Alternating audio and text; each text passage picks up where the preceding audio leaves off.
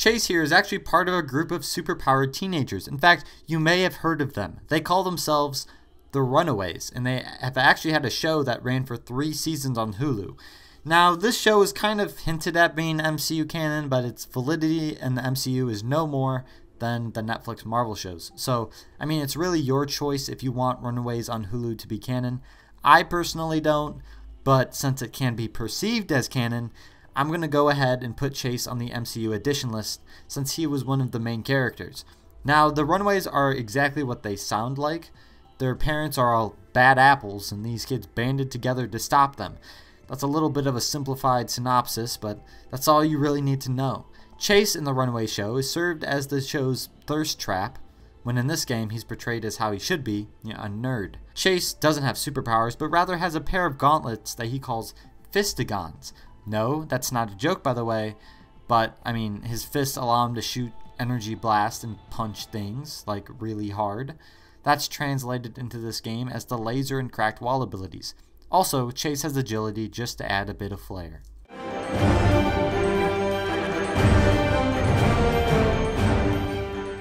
Tigra is yet another cat-themed heroine. In fact, she was originally called The Cat before taking on the Tiger alias. Tigra has quite a few abilities here that are something cats do.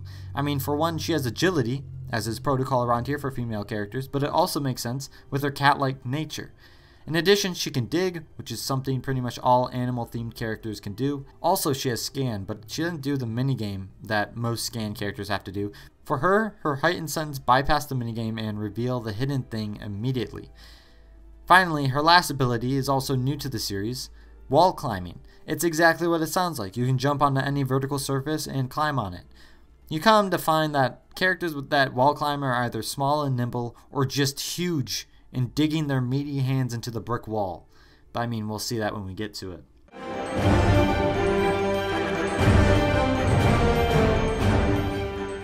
Agent 13, also known as Sharon Carter, is part of the Civil War DLC character pack and has has a quite interesting past with one Steve Rogers. Now, Sharon Carter is the great niece of Peggy Carter, the founder of S.H.I.E.L.D., and the main reason why Steve time traveled back in time to have a life with her. That didn't stop Steve from sharing one long, sloppy kiss with Sharon Carter with the Falcon and the Winter Soldier watching from a car. After the events of Civil War, Sharon Carter became a fugitive and is why she was pretty rude to Sam and Bucky when she showed up in the Falcon and Winter Soldier series. I mean, she says she low key hates them for not getting her pardoned, but I think Steve's bouncing over to another timeline to be with her great aunt also probably played a role. I mean, I don't know why they opted to call her Agent 13 in this game when Sharon Carter is definitely what most people know her by, but Agent 13 has all the fixings of what a SHIELD agent should have in this game. Agent 13's four abilities are Shield, Agility, Technology, and Explosive. All of that makes solid sense to me.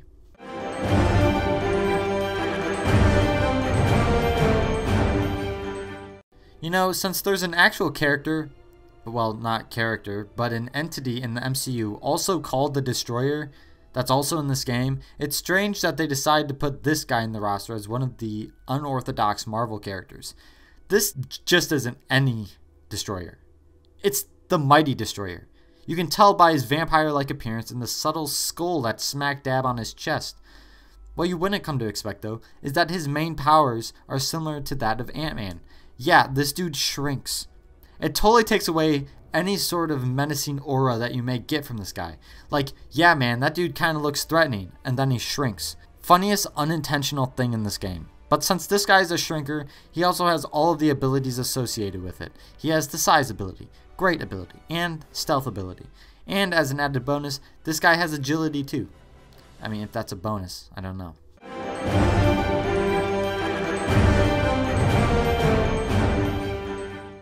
Bengal is a daredevil villain who had some surprisingly morbid history that led him to becoming Bengal. Bengal, as a child, had his family killed as a result of a war crime committed by a troop of U.S. soldiers during the Vietnam War. That tragedy fueled his need to train to become a martial arts master and exact revenge. It was thanks to the Punisher when Bengal chose to give mercy to the leader of the troop of soldiers who went on to become a priest. Bengal, in the end, was able to retire and open a martial arts school. Looks like TT Games forced him out of retirement to put him in this game. Bengal has four abilities, and they're all pretty unorthodox as far as martial artists go. He has the automatic scan, agility, and dig, just like Tigra. Well, Bengal is named after the Bengal tiger, but Bengal, the Marvel character, does not have any tiger like powers like this game would make you believe. I think TT Games was just a little confused. Oh, and Bengal has cracked wall as his fourth and last ability. I mean, even if Bengal had tiger like powers, he still shouldn't have the power to bust through walls. I don't know.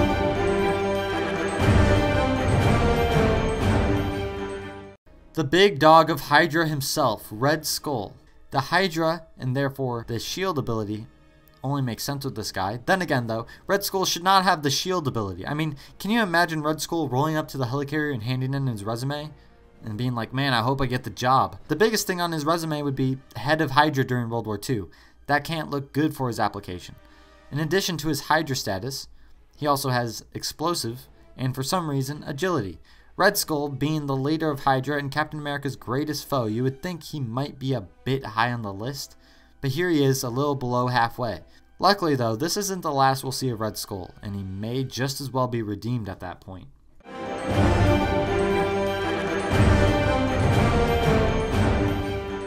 Melter is such a creatively thought out villain. The guys over at Marvel just said, let's create a guy who melts things and then name him Melter. Really, a round of applause for these guys. They really knocked it out of the park. The Melter was a founding member of the Masters of Evil after being screwed over by Tony Stark with his US military weapons deals. And Melter here was one of the characters you play as in the Masters of Evil DLC level. The Melter is a wielder of the the melting ray. Again, again, great creativity from Marvel.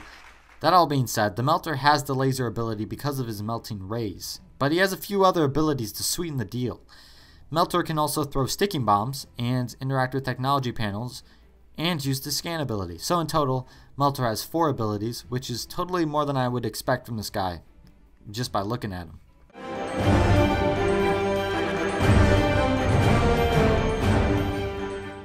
Wow, we went over the big dog of Hydra, now we're going over the big dog of Asgard.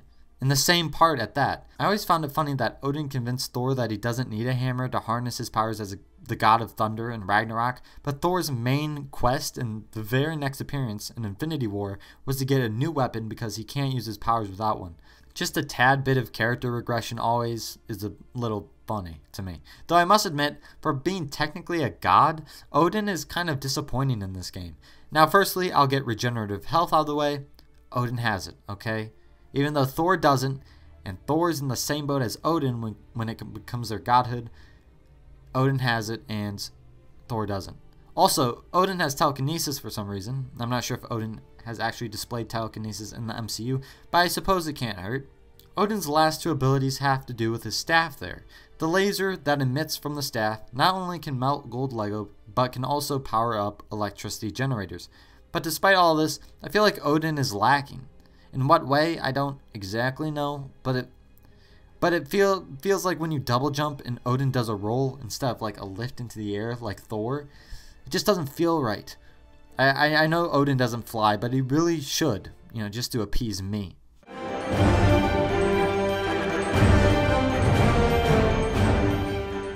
Swordsman, also another creative name on Marvel's part, has actually shown up in the MCU rather recently. In case you didn't know, Jack. Jack Duquesne from Hawkeye was a suspected murderer for most of the show. This dude in the comics was the swordsman. I mean, Jack was exceptional at sword fighting, if that wasn't a good enough hint for you. So, with all that being said, let's add Swordsman to the MCU edition list, shall we? I gotta say this though. Swordsman has some abilities that are totally out of left field. Turns out, his sword holds some magical abilities. Or is it really high tech? I don't know. It's something like that. Swordsman can shoot electric balls out of his sword, which is the default as opposed to actually swinging the sword. Anyway, his magic sword can both power generators with electricity and melt gold Lego with laser. In addition, Swordsman can smash cracked walls and deflect beams. So yeah, all of those are not very swordsman-like.